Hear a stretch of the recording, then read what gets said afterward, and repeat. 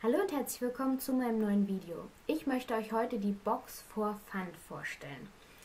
Ähm, die ist gedacht für Kinder, um die auf einer großen Feierlichkeit so ein bisschen zu beschäftigen, um ihnen erstmal natürlich was zu schenken, mit dem sie sich dann auf der Feier beschäftigen können.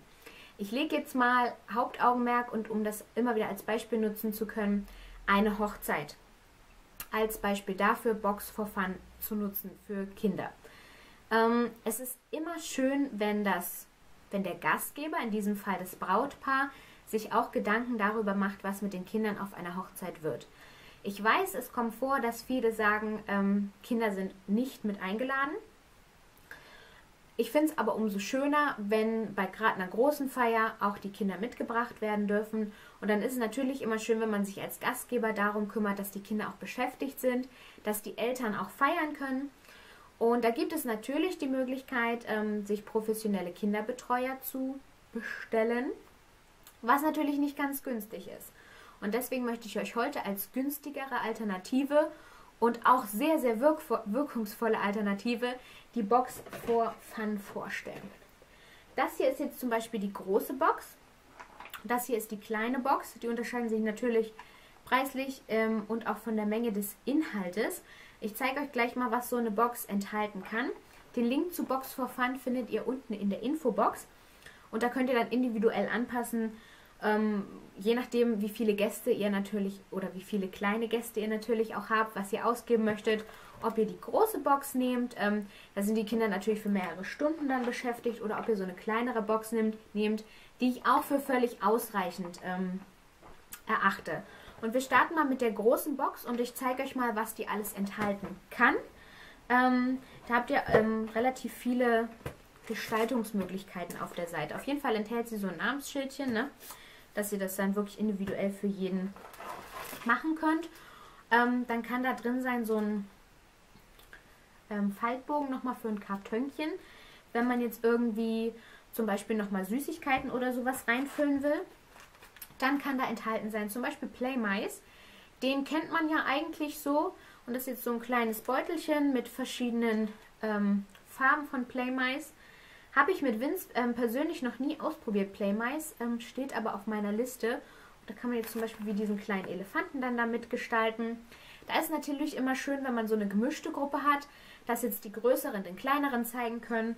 Oder man stellt halt eine Person ab, die dann vielleicht auch mal mit hinschaut und mal den Kindern ein bisschen erklärt.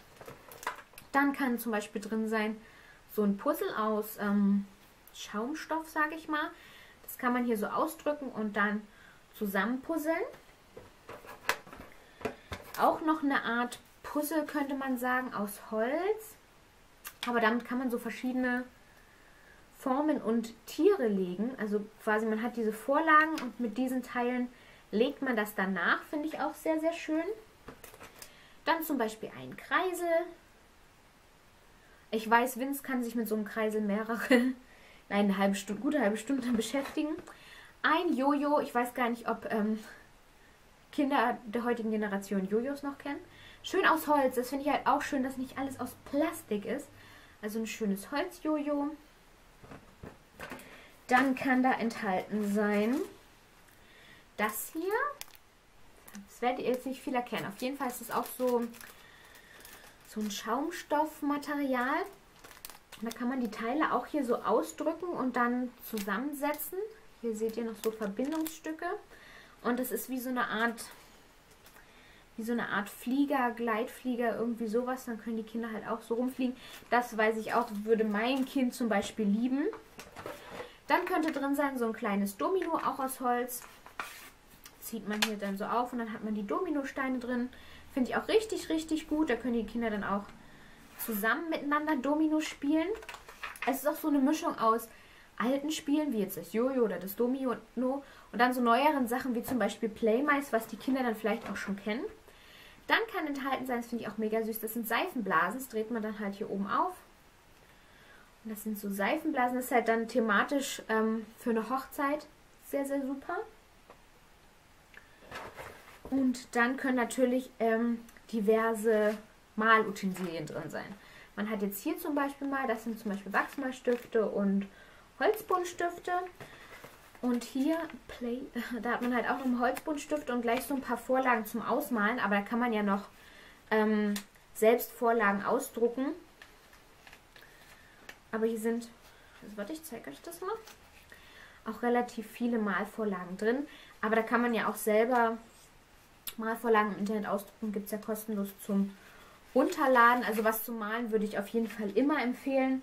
Und auch sonst, wie gesagt, ihr seht, es ist bunt, gemischt ist richtig klasse. Und dann habt ihr halt so eine große Box, wo das halt für jedes Kind auch drin ist. Ich finde die optisch sehr, sehr schön für jedes Alter. Nicht irgendwie zu kindlich oder so. Und dann können die Kinder das dann auch wieder darin verstauen. Dann ist es auch aufgeräumt und können das mit nach Hause nehmen. Das ist halt auch ein Geschenk für die Kinder. Die können ja meistens mit den Gastgeschenken, die man jetzt zum Beispiel auf einer Hochzeit den anderen ähm, erwachsenen Gästen übergibt, nichts anfangen. Und dann ist es doch viel schöner, wenn die so ein Gastgeschenk bekommen, mit dem sie dann auf der Feier auch wirklich gleich spielen können, was sie mit nach Hause nehmen können, wo sie zu Hause weiterspielen können. Und es gefällt mir sehr, sehr gut. Das ist jetzt mal die große Box. Und dann gibt es halt ja noch diese kleine Box. Da schreibt man hier dann den Namen des Kindes drauf. Und die ist dann auch wieder natürlich gefüllt. Und da hat man dann jetzt hier zum Beispiel wieder diese Stifte mit den Malvorlagen. Dann passt das hier wunderbar auch in diese kleine Schachtel.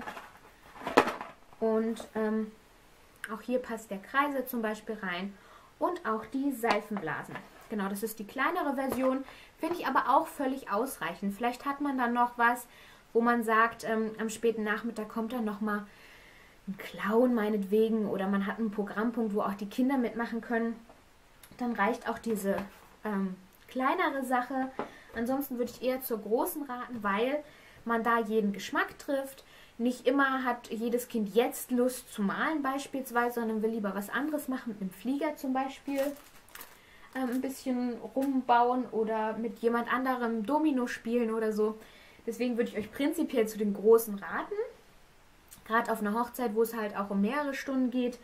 Wenn ihr jetzt aber zum Beispiel nur eine kleinere Feier macht wo ähm, die Gäste sowieso erst ab 16 Uhr meinetwegen eingeladen sind, würde auch ähm, die kleinere Version reichen.